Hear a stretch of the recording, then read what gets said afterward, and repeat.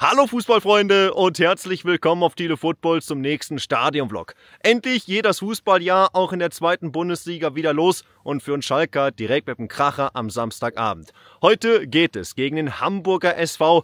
Die wollen aufsteigen, wir wollen erstmal nicht absteigen, so wäre zumindest mal meine Zielsetzung für die Rückrunde und das sind natürlich schon verschiedene Voraussetzungen. Das Hinspiel war ja extrem wild mit unserer 3 zu 5 Pleite. Auch heute könnte es ein intensives Spiel werden mit vor allem auch zwei tollen Fanlagern, zwei lautstarken Fanlagern. Also eine besondere Atmosphäre sollte auf jeden Fall dabei sein. Ihr seht hinter mir das verschneite und wunderschöne Sauerland. Daraus geht es eben jetzt Richtung Ruhrgebiet, Richtung Arena zum Topspiel der Woche. Schalke gegen Hamburg.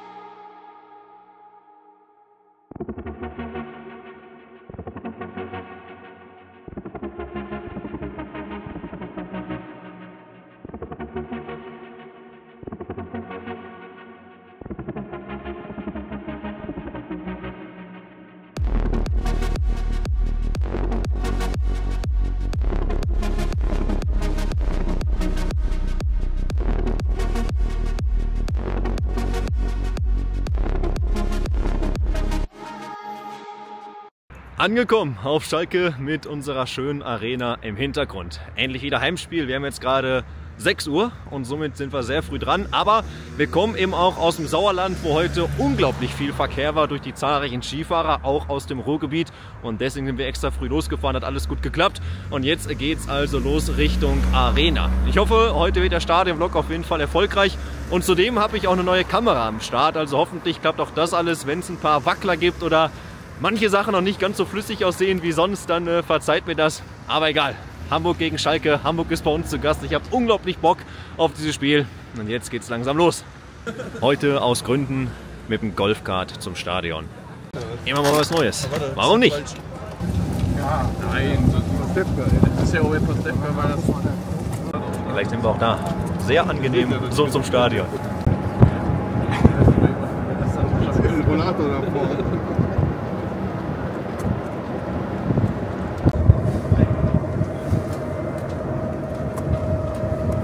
Hier jetzt. Alles.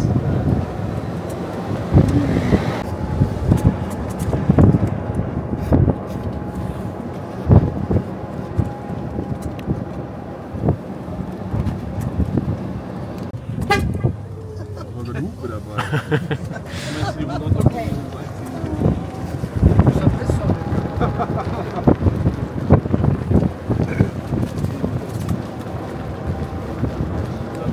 Und genau, da sind wir jetzt. Das ging zügig, das war angenehm, weil einer von meinen Kollegen heute mit Krücken unterwegs ist, kann man dann eben als Beifahrer da mitfahren. Habe ich mal genutzt ein paar schöne Aufnahmen. Und jetzt sind wir direkt am Stadion um Viertel nach sechs, also noch eine Viertelstunde. Dann gehen auch hier die Tore auf. Endlich wieder Stadionessen auf Schalke. Los geht's heute mit einer Pizza. Äh. Pizza hier, immer gut. Und da sind wir. Endlich wieder Heimspiel in unserer Arena. Dach ist auf. Also wird auf jeden Fall ordentlich kalt werden, aber egal. Hauptsache Topspiel, Flutlicht, viel Stimmung und die wird's geben. Bevor ich später vergesse, ganz kurz jetzt schon mal zu meiner Prognose. Ich habe im Vorhinein schon äh, 3 zu 3 getippt. Ich kann es aber heute sehr schwer einschätzen. Hamburg ist eine unglaublich starke Mannschaft, aber eben auch mit Anfälligkeiten in der Defensive. Die bringen aber sicherlich 6, 7, 1000, 8000 Fans mit aus dem hohen Norden. Und das wird dann natürlich schon ein richtig starker Gegner sein. Auf unserer Seite war man sehr zufrieden mit dem Trainingslager. Wir haben keinen Neuzugang. Die Testspiele waren sicherlich ganz gut. Aber ein Pflichtspiel, dann auch noch ein solches gegen Hamburg, ist halt nochmal was ganz anderes. Ich glaube an viele Tore, an viele Torszenen, an ein 3 zu 3. Ja, wäre sicherlich ganz okay als Auftakt, aber wir haben halt auch eine brenzliche Ausgangslage als Tabellen. Was sind da? 14., 15., 14. sind wir mit äh, gerade mal, ich glaube, drei Punkten Vorsprung auf Platz 16 und jetzt auch auf Platz 17, weil Braunschweig gewonnen hat. Es ist Druck am Kessel, wir sind weiter im Abstiegskampf, wollen da raus, müssen da raus und dafür kann man heute schon mal den ersten wichtigen Schritt gehen. Aber es wird schwer. Auf Schalke gibt es ja jetzt auch neue Bierpreise, neue Bratwurstpreise, generell neue Cateringpreise.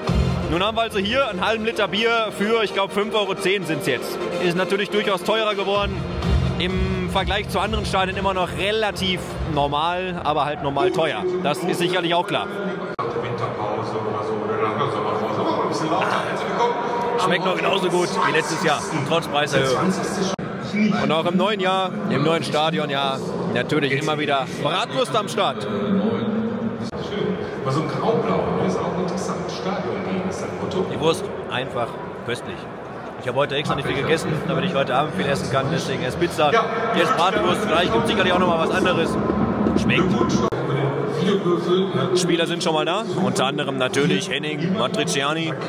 Mal schauen, wie Karel Gerrards heute aufstellt. Die erste Elf ist ja relativ fix im 4-4-2-System mit Raute. Aber vor allem auch die Kaderplätze. Kaper aus Van der Sloot oder auch Castell aus der U23 haben einen guten Eindruck hinterlassen im Trainingslager. Vielleicht ist der eine oder andere heute mit dabei. Die ganzen Konzerte, ne? alles klar. Da ist natürlich Stunde vor Pfiff. Unsere erste Elf ist da und das ist die erwartete. Mit Ralf Herrmann im Tor, Ona, Kalas, Kaminski, Owen hinten drin, Merkin fehlt er gesperrt, Seguin auf der 6, Idrissi, Mohr, Hamburg Finalposition, Karaman auf den 10, Hinter, Terodde und Top. Auf der Bank haben wir Kabadayi und Lasme wieder, die sind wieder fit. Auch Castelle hat es in den Kader geschafft. Marius Müller sitzt heute wieder auf der Bank. Mal gucken, wann er wieder topfit ist für die Startelf.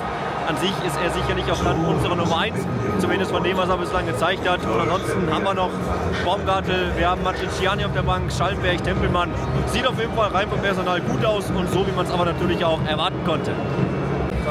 Dritte Speise an diesem Abend, eine richtig schöne Currywurst auf Schalke mit Jalapenos, die dampft auch noch wunderbar und dann geht's hier gleich los. Ey, ja Bock. Wir sind die beiden zum Torwart. Torhüter, komm. Es beginnt die 1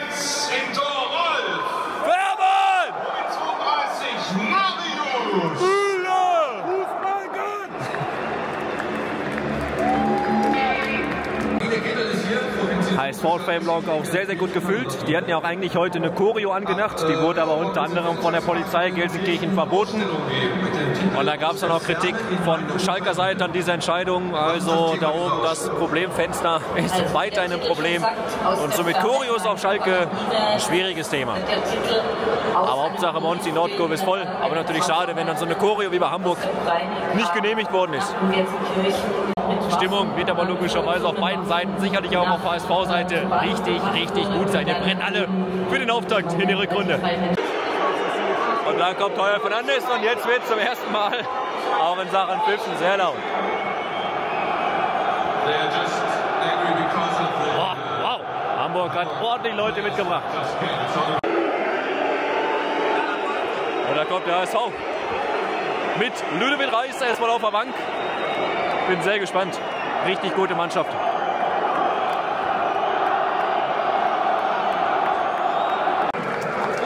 Hier ist unser Team, die Mannschaft des FC Schalke.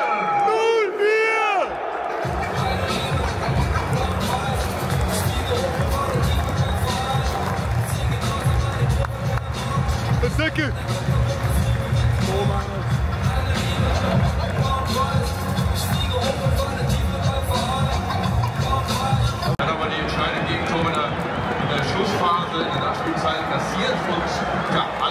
natürlich darauf, dass es heute einen ähnlichen Spielfilm gibt, nur mit einem Happy End.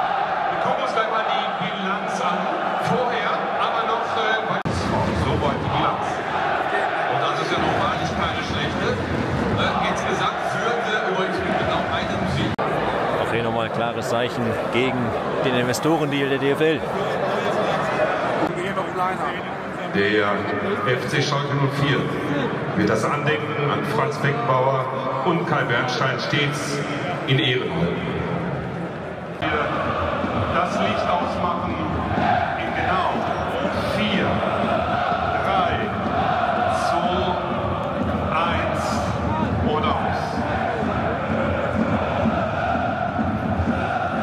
Steiger liegt. Glück auf! Der Steiger kommt. Haus raus!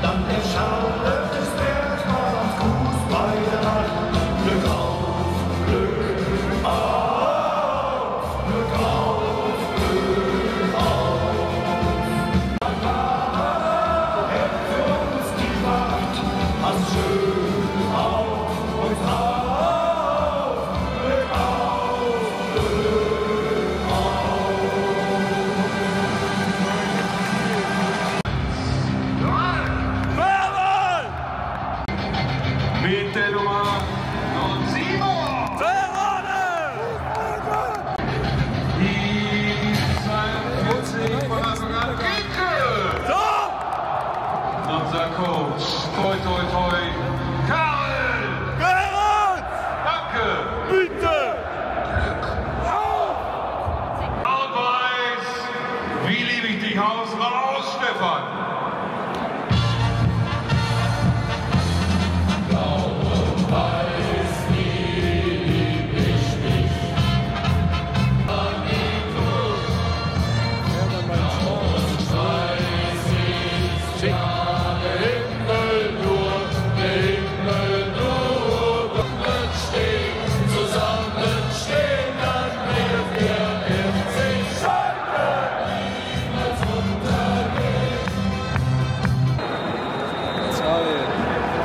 Und Attacke.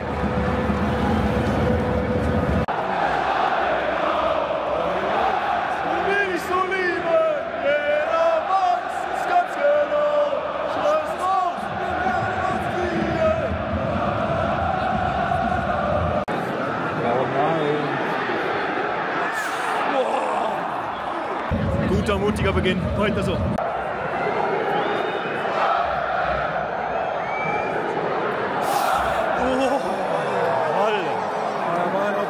Weggerutscht. Und jetzt geh! Komm! Alter, ja, zwölfte Minute.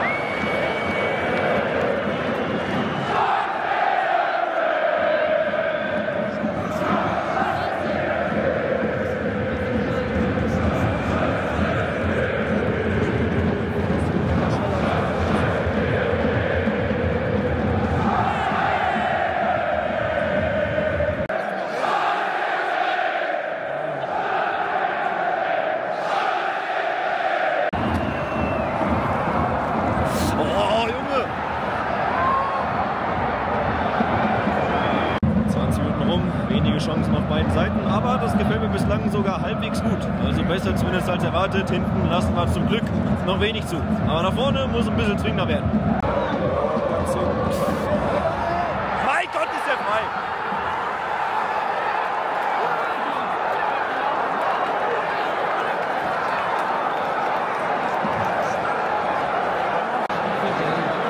ASV, Ferrei, komplett frei, 5 Meter Raum, aber Köpfen. Das ist halt einfach schlecht verteidigt. Mann! Torschütze der Spieler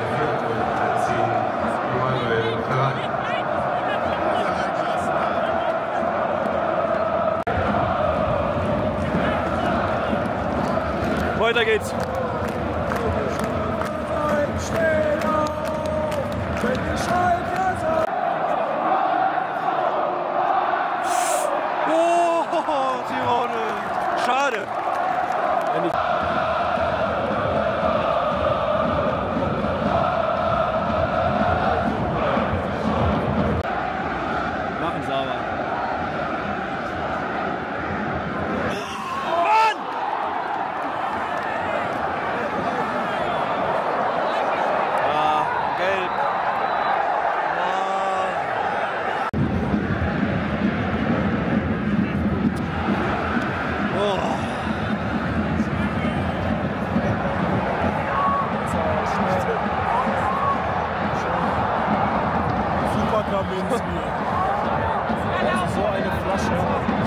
Mann, ey. Mann, das ist so einfach. Mann!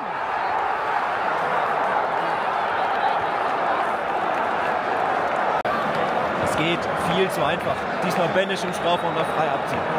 Das ist so schlecht verteidigt. Das ist Aber so schlecht. Gott, für Kaminski. Ganz im Ernst. Das war, ah. Mann!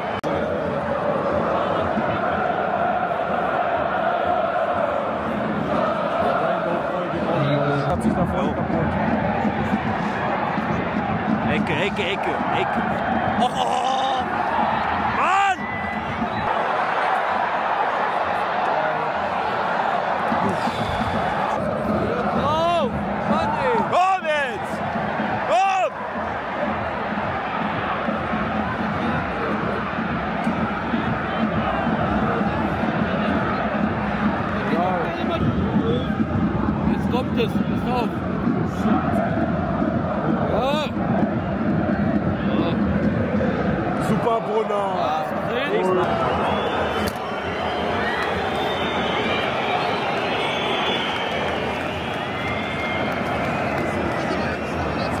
Es ist Pause. Mal kurz rausgehen, frische Luft schnappen nach einer schlechten ersten Halbzeit. Ich fand, wir sind ganz gut reingekommen, zumindest mit viel Power, mit viel Elan eben auch nach vorne.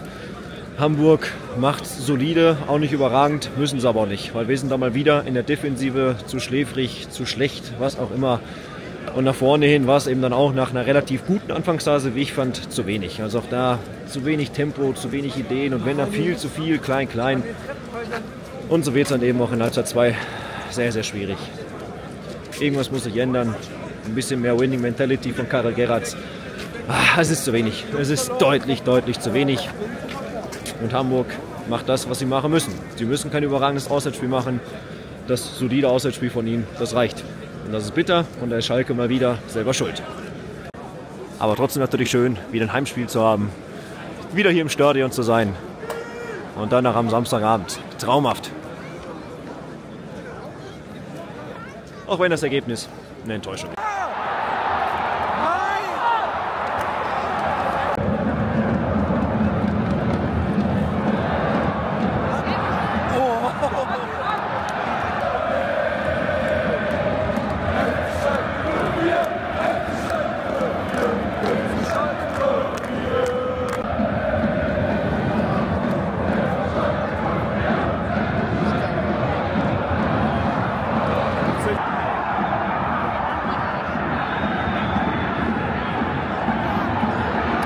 Alter! Oh! Carlos! Mann! Das gepunkt und Kickbase.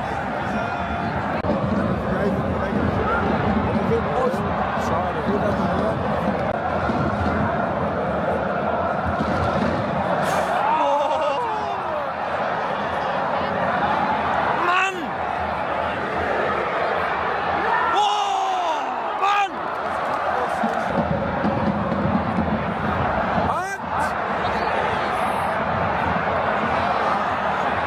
Mein Gott. Wir sind Hamburgs beste Verteidiger. Ja, 20 Tobias Mohr. Doppelwechsel, Und Top raus. Tempelmann, lassen wir rein. Der 10 Lino. Schauen wir mal. Ja, 25 Minuten. Irgendwie ein Tor machen, dann ist was drin. Ansonsten, oh, Hamburg macht einfach defensiv sehr stark.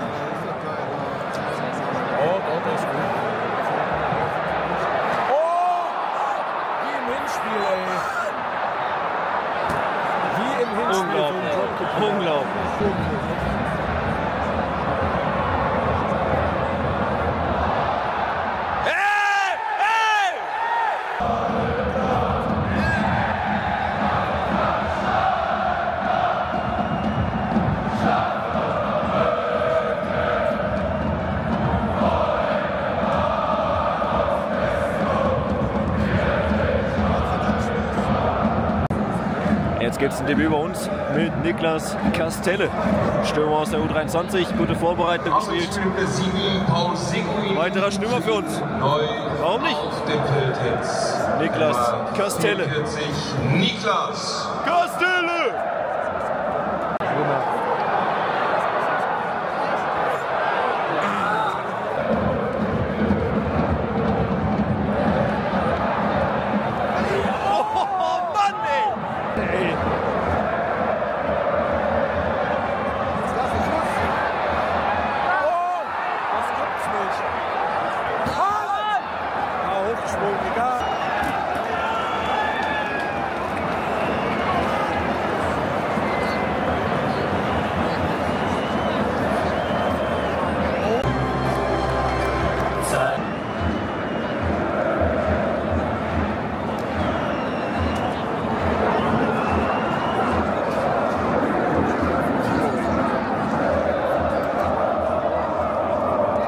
Feierabend auf Schalke und somit war das also unser erstes Heimspiel im Jahr 2024. Vor mir steht gerade ein Auto, deswegen bin ich gerade ein bisschen rot und ja, rot ist finde ich auch weiterhin die Lage auf Schalke, denn sie ist und bleibt gefährlich. Wir sind im Abstiegskampf der zweiten Bundesliga und ich fand, dass man heute auch nochmal gesehen hat, warum wir das sind. Es war defensiv keine gute Leistung, es war offensiv auch keine gute Leistung und dann hast du halt einfach zu viel Durchschnitt, zu wenig individuelle Qualität, um Hamburg auch wirklich mal gefährlich werden zu können. Ich fand, der HSV hat heute vor allem auch defensiv eine wirklich gute Leistung abgelegt. Ambrosius, auch Ramos haben unglaublich viel weggearbeitet, wo es auch schwierig war für uns. Aber selbst Hamburg musste nicht mal sein bestes Auswärtsspiel machen. Und das war ich, fand ich auf jeden Fall, war schon mal ein klares Signal dafür, dass bei uns noch was passieren muss. Klar, die Stimmung im Trainingslager soll gut gewesen sein, die Mannschaft harmoniert immer besser, die Testspiele waren nicht verkehrt, aber davon kannst du dir einfach nichts kaufen. Wenn du dann, wenn es um was geht, in einem Ligaspiel, Samstagabend, Flutlicht, Topspiel der Woche gegen einen Top-Gegner zu wenig zeigst. Die Stimmung auf den Rängen war sicherlich auch schon mal besser, auch da merkt man einfach aktuell, ist irgendwie, also es ist einfach aktuell äh, auf Schalke ein ganz, ganz komisches Gefühl. Der letzte Power fehlt, glaube ich, irgendwie bei jedem aktuell. Und jetzt sind wir weiter im Abstiegskampf der zweiten Bundesliga. Von unten macht Braunschweig Druck. Mal gucken, was morgen dann noch die weitere Konkurrenz so macht. Und dann geht's nächste Woche auf dem Betzenberg zum ersten FC Kaiserslautern. Freitagabend, Flutlicht, wird sicherlich auch wieder arschkalt sein. Und auch das wird ein ganz brenzliges und schwieriges Spiel. Ich bin noch dort vor Ort, werde für euch auch dort einen Stadionvlog aufnehmen auf dem Betze, begegnen den FCK. Und das wird ein ganz, ganz, ganz wichtiges Duell im Abstiegskampf. Ich bin sehr gespannt, was die nächsten Tage passieren wird. Darko Schulinov, habe ich kurz am Spiel gelesen, soll wohl jetzt tatsächlich laut Sky vor einer Rückkehr zu uns stehen. Auch Thema Rechtsverteidigung ist für mich ein wichtiges. Auch Thema Innenverteidigung bleibe ich bei, ist für mich ein Thema, was man noch angehen muss. Denn man darf eines nicht vergessen, auch wenn wir im Aufstiegskampf keine Rolle mehr spielen werden, spielen wir im Abstiegskampf eine große Rolle. Stand jetzt und da müssen wir wirklich raus.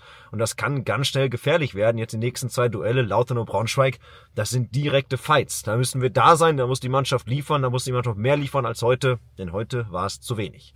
Eure Meinung könnt ihr mal gerne zum Spiel und zum Vlog in die Kommentare schreiben. Ich habe während des Spiels gemerkt, dass manche Aufnahmen nicht so perfekt waren. Neue Kamera ist oftmals noch ein bisschen ungewohnt. Verzeiht mir das für hier und heute. Und dann sehen wir uns auf jeden Fall nächste Woche wieder in Kaiserslautern. Da sind wir zu Gast. In dem Sinne, macht es gut, ciao und bleibt am Ball.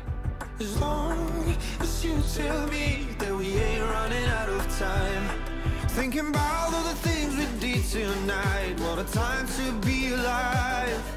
just you and I.